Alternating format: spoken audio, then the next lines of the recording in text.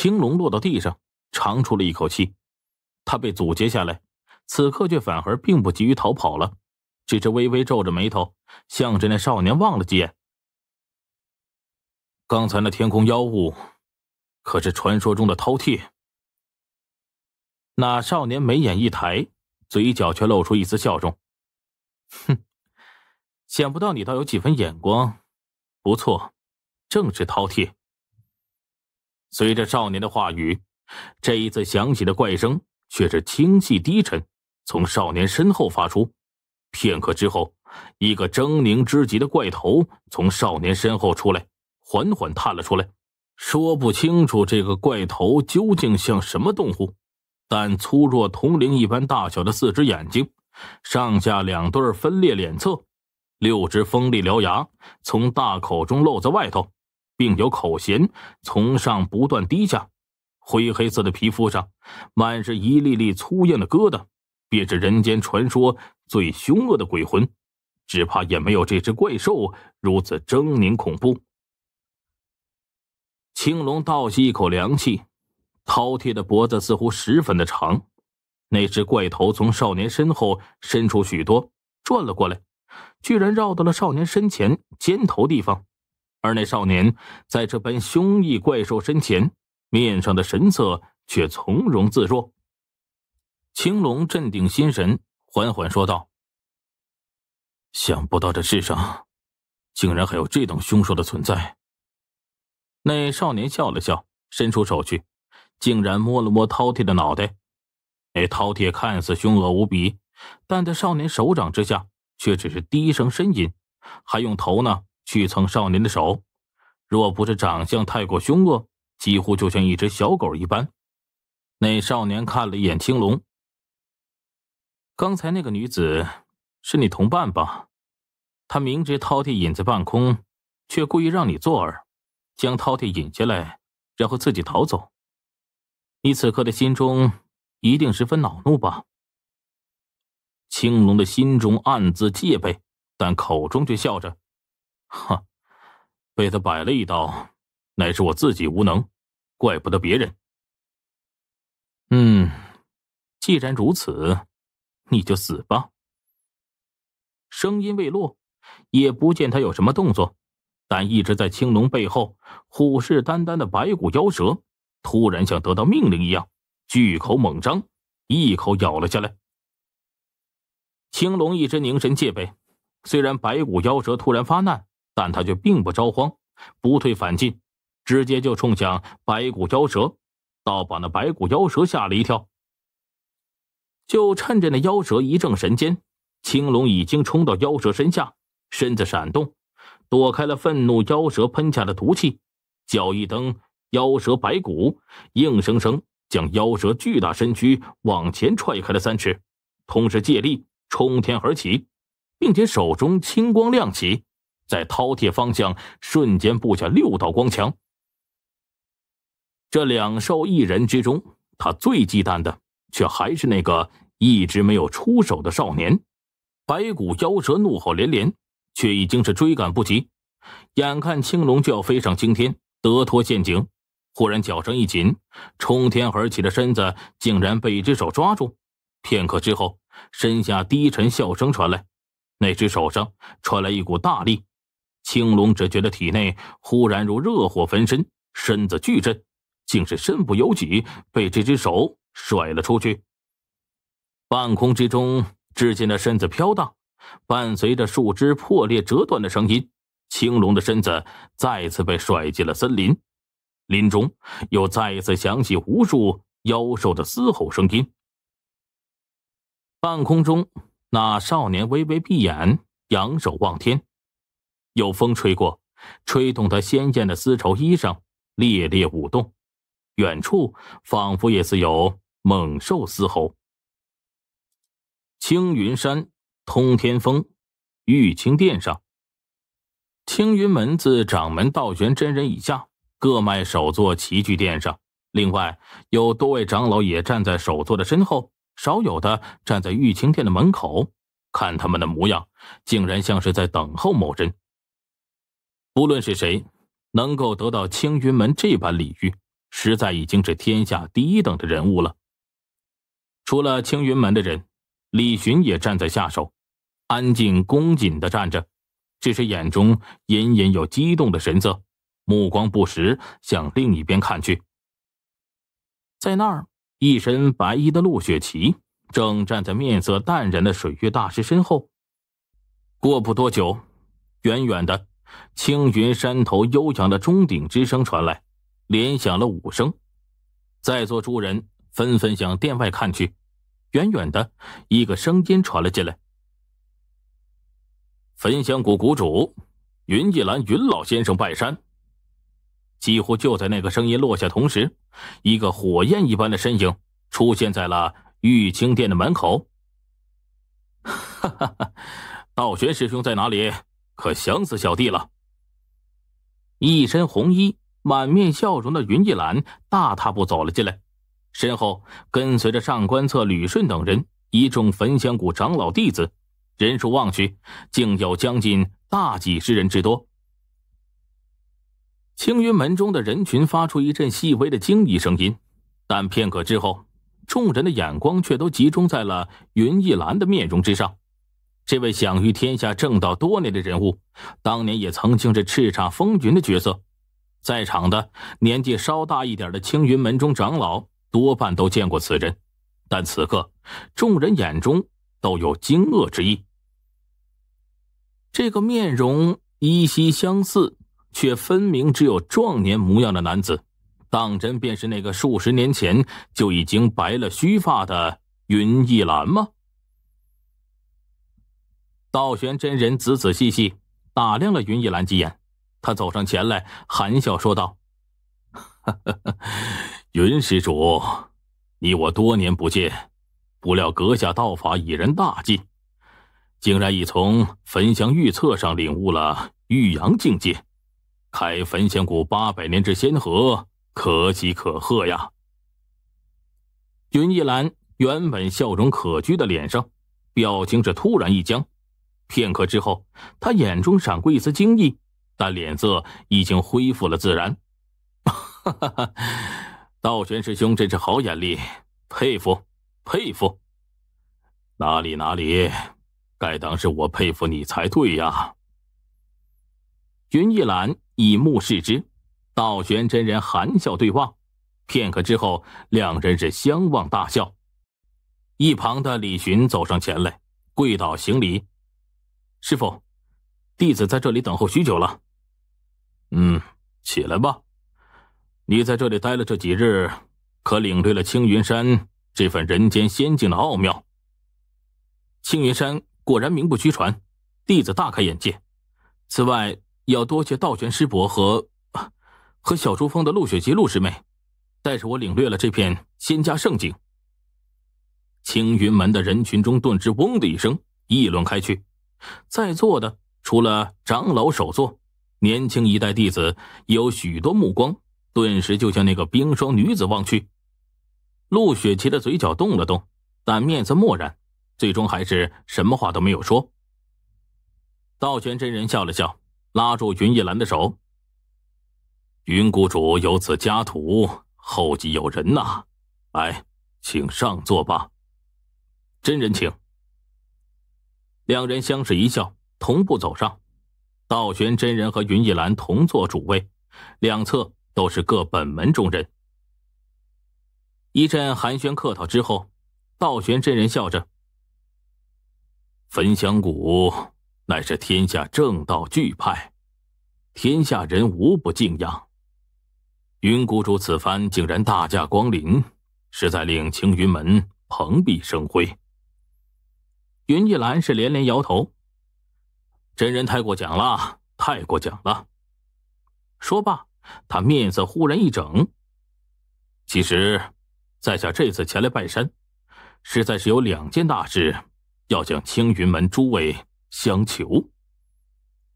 道玄真人连忙说道：“哎呀，云谷主太客气了，有话请说。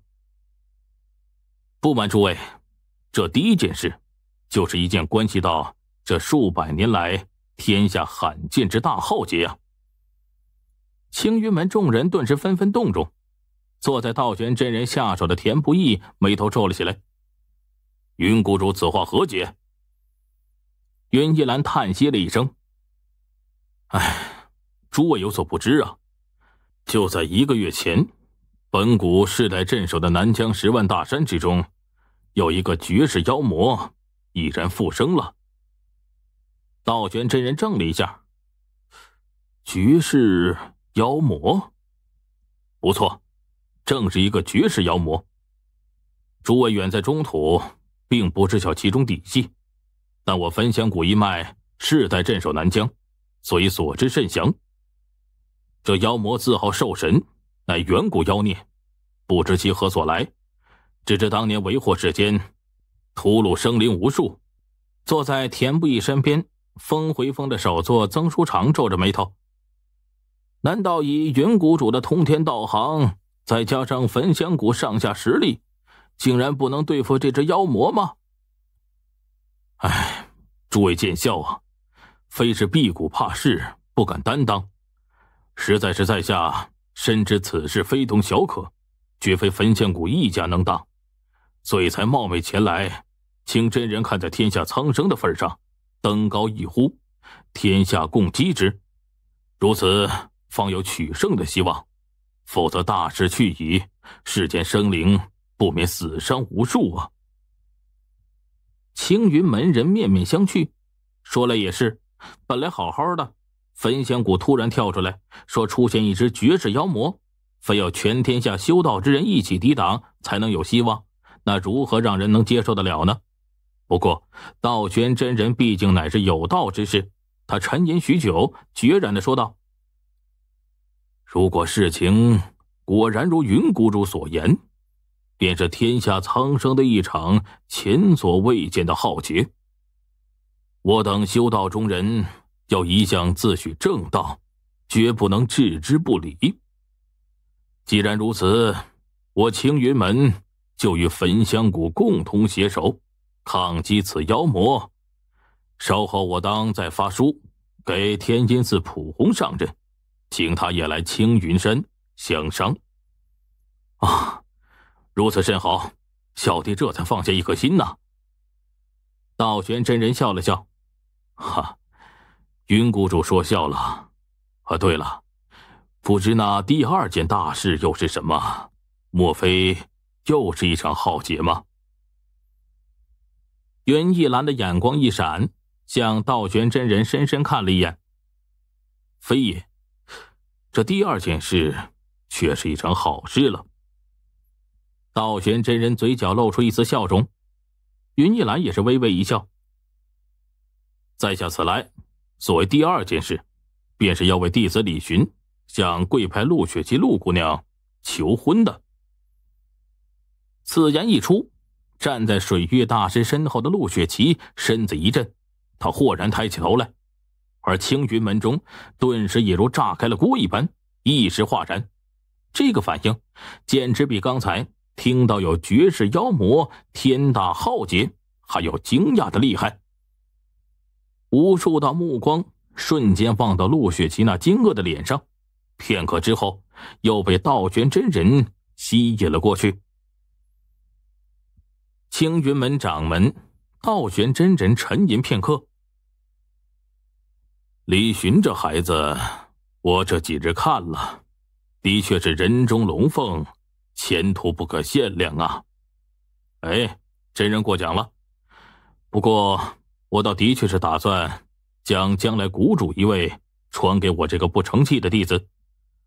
而大敌当前之际，我们有这么一件喜事，更显着我们京城合作，同时也振奋天下英雄的士气。不知真人以为如何呢？坐在一旁的田不易面上不屑。险些一声冷哼就哼了出来，幸好他的妻子苏如眼明手快，一把将他拉住。道玄真人目光一动，扫过青云门众人，最后落到陆雪琪的身上。陆雪琪是紧皱眉头，嘴唇微微抖动，似乎想说些什么，但顾及到场合不对，还是没有大声的说出来。道玄真人微微一笑，转头对云逸兰说。云谷主的此番好意，还当真是出人意料啊！在下与小徒是一片赤诚，还望真人成全。嗯，天生妖魔，祸在眉睫，务需你我两派并肩协力，才能拯救苍生。而且这桩婚事，郎才女貌，我也十分中意。青云门中又是一阵哗然，众人都没有想到，道玄真人竟然真的同意了这件婚事。只听道玄真人转头对坐在一旁的水月大师微微一笑：“水月师妹，雪琪是你的弟子，该当由你拿主意才是啊。”陆雪琪脸色煞白，显然也是被这件事给震动了心神。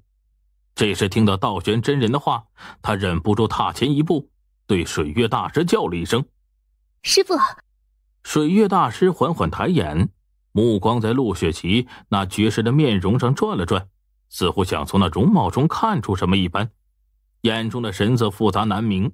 沉默了好一会儿，才慢慢的说道：“琪儿，这桩婚事，我也十分赞同。”李公子人中龙凤，乃是良配。